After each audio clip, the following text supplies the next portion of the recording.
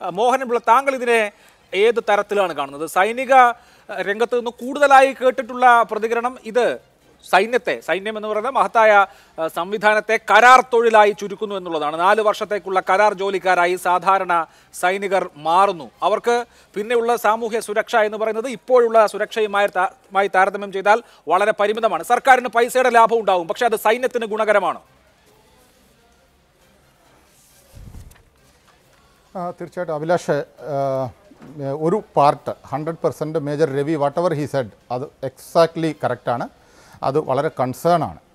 Number two എന്താണെന്ന് ചോദിച്ചു കഴിഞ്ഞാൽ Sanalkumar sir with due respect എനിക്ക് ഒന്ന് രണ്ട് കാര്യങ്ങളിൽ വളരെയധികം എതിർപ്പുണ്ട്. കാരണം സാറ് പറഞ്ഞു ഇത് പ്രയോറിറ്റിയിൽ ഐ ടിന്ന് കുറയ്ക്കാൻ പറ്റില്ല എഡ്യൂക്കേഷൻ അതർ സെക്ടറിൽ കുറയ്ക്കാൻ പറ്റില്ല സോഷ്യൽ സെക്ടറിൽ കുറയ്ക്കാൻ പറ്റില്ല കുറയ്ക്കാൻ പറ്റുന്നത് ആർമിയിലാണെന്ന്. No sir no no compromise on that ആ അതിൽ ഒരു കോംപ്രമൈസും പാടില്ല ഒരു കോംപ്രമൈസും പറ്റില്ല. അത് എക്സാക്ട്ലി റോങ് ആണ്. കാര്യം പരമപ്രധാനമായിട്ട് നമ്പർ വൺ എന്ന് പറയുന്ന സെക്ടർ എന്ന് പറയുന്ന ഡിഫൻസ് സെക്ടറാണ് ഡിഫൻസ് സെക്ടറിൽ ഒരു കോംപ്രമൈസിനും ആരും തയ്യാറാവില്ല ഇൻക്ലൂഡിങ് എനി ഓപ്പോസിഷൻ ഒരു ഓപ്പോസിഷനും അതിന് സപ്പോർട്ട് ചെയ്യില്ല.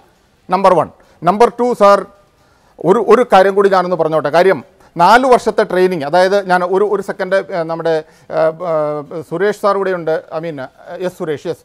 അദ്ദേഹം പറഞ്ഞത് കറക്റ്റാണ് ആ ആംഗിളിൽ ബട്ട് ഇവിടെ നടന്ന പ്രശ്നം എന്താണ്? ഇഷ്യൂ എന്ന് പറഞ്ഞു കഴിഞ്ഞാൽ എക്സ് ഗവൺമെന്റ് ഒറ്റ ക്ലാരിഫിക്കേഷൻ വരുത്തിയാൽ മതി. എക്സിസ്റ്റിംഗ് റൂൾ ഷുഡ് കണ്ടിന്യൂ അതായത് നിലവിലുള്ള വേക്കൻസി മൊത്തം ഫില്ലാകും പഴയപടി. അത് കൂടാതെ ഇത് ഒരു അഡീഷണൽ ഫോഴ്സായിട്ട് ഒരു മോട്ടിവേഷണൽ ഫോഴ്സായിട്ട് ഒരു സപ്പോർട്ടിംഗ് ഫോഴ്സായിട്ട് ഒരു ഓക്സിലറി ഫോഴ്സായിട്ട് വരുന്നു എന്നുള്ളതാണ്. ആണെങ്കിൽ തീർച്ചയായിട്ടും അത് ഓക്കെയാണ് നമ്പർ ടു ഈ നാലു വർഷം എന്ന് പറയുന്ന ഒരാൾ വെറും മുപ്പത്തിയാറ് മാസമാണ് സർവീസിൽ വരുന്നത്. രണ്ട് മാസം ആനുവൽ ലീവ് ഒരു മാസം കാഷ്വൽ ലീവും പോയി നാല് വർഷത്തിൽ എത്ര വർഷം ഒരു വർഷം അങ്ങ് പോയി കിട്ടി. ബാക്കിയുള്ള സമയത്താണ് ഈ ആളിനെ ഉപയോഗിക്കേണ്ടി വരുന്നത്.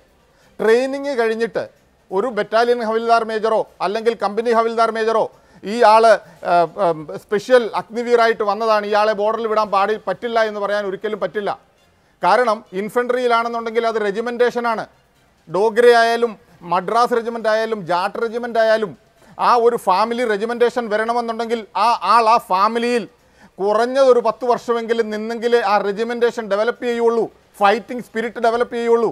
ഇന്നൊരാൾ വന്നിട്ട് ആറുമാസത്തെ ആറ് മാസത്തെ ട്രെയിനിങ് കഴിഞ്ഞിട്ട് ആ യു ഏതെങ്കിലും യൂണിറ്റിൽ പോയി കഴിഞ്ഞാൽ ഞാൻ ബോർഡറിൽ വരില്ല എന്ന് പറയാനോ വിടത്തില്ല എന്ന് പറയാനോ പറ്റില്ല. കാരണം ഒരു യൂണിറ്റ് ഒന്നിച്ചാണ് മൂവ് ചെയ്യുന്നത്.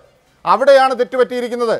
അതുപോലെ തന്നെ മോട്ടിവേഷണൽ ഫോഴ്സ് എന്ന് പറയുന്ന ഈ ട്വന്റി ഫൈവ് പെർസെന്റേജ് അത് സെവന്റി കയറുന്ന അന്നു മുതൽ ഈ എഴുപത്തിയഞ്ച് നൂറ് ശതമാനത്തിൽ ഞാൻ ആ ഇരുപത്തഞ്ചിൽ പെടുമോ? ഞാൻ ആ ഇരുപത്തഞ്ചിൽ പെടുമോ? എനിക്ക് കണ്ടിന്യൂറ്റി കിട്ടുമോ? ആ ഒരു ടെൻഷൻ ആ മെന്റൽ ടെൻഷൻ അത് അത് നാല് വർഷം സഫർ ചെയ്തുകൊണ്ട് ഞാൻ രാജ്യത്തിന് വേണ്ടി സ്ട്രഗിൾ ചെയ്യുമെന്ന് വിശ്വസിക്കാൻ വളരെ പ്രയാസമാണ്. അതുപോലെ തന്നെ മറ്റൊരു പക്ഷമുണ്ട് എഴുപത്തഞ്ച് ശതമാനം തിരിച്ചു വന്നു കഴിഞ്ഞാൽ അവർ മൾട്ടിനാഷണൽ കമ്പനികളിലൊക്കെ അബ്സോർബ് ചെയ്യുമെന്ന്. അവിടെ ഒരു പ്രശ്നമുണ്ട് മിസ്റ്റർ അഭിലാഷ്. കാരണം ഈ മൾട്ടിനാഷണൽ കമ്പനി അബ്സോർബ് ചെയ്യും? അല്ല role is a different issue രണ്ടാമത് ആദ്യത്തെ ക്വസ്റ്റ്യൻ നീ ഡിഫൻസിൽ നിന്ന് റിജക്ട് ചെയ്ത് വന്നതാണ്. You are not capable capable അല്ല. കേപ്പബിൾ ആണ്. നീ അവിടെ നിന്നേനെ. എന്തുകൊണ്ട് കേപ്പബിൾ അല്ല? അതുകൊണ്ട് തിരിച്ചു വരുന്നു. ദാറ്റ് ഈസ് നമ്പർ വൺ ഇതിന് പറയുന്ന ന്യായം എന്തെന്ന് ചോദിച്ചാൽ ഇരുപത്തിയഞ്ച് നേരത്തെ ഓഫീസേഴ്സിൽ ഷോർട്ട് സർവീസ് കമ്മീഷൻ ഉണ്ടായിരുന്നു. ഈ ഷോർട്ട് സർവീസ് കമ്മീഷൻ എന്ന് പറഞ്ഞ് അഞ്ച് വർഷം സർവീസ് കഴിഞ്ഞതിന് ശേഷം അവർക്ക് ചോയ്സ് ഉണ്ടായിരുന്നു. വേണമെങ്കിൽ കണ്ടിന്യൂ ചെയ്യാം. ഇല്ലെങ്കിൽ വിട്ടിട്ട് പോകാം. ആ ഒരു കണ്ടീഷന്റെ കൺസെപ്റ്റാണ് ഇത്. പക്ഷേ കൺസെപ്റ്റ് റോങ് ആയിപ്പോയി. അവിടെയാണ് ഇതിന് പറ്റിയിരിക്കുന്ന ഏറ്റവും വലിയൊരു ദോഷം. ഇത് കവർ ചെയ്യാതെ പിന്നെ മേജർ രവി ഒരു കാര്യം പറഞ്ഞു അതാരും ശ്രദ്ധിച്ചില്ല. കാരണം സർവീസിൽ ഒരു ജവാൻ കയറിയാൽ ആ ജവാന്റെ മനസ്സിന്റെ ഉള്ളിലെ ആഗ്രഹമാണ് കുറഞ്ഞതൊരു junior commissioned officer J C O എങ്കിലും ആവുക സുബേദാറെങ്കിലും ആവുക അല്ലെങ്കിൽ ഓഫീസറെങ്കിലും ആവുക എന്ന്.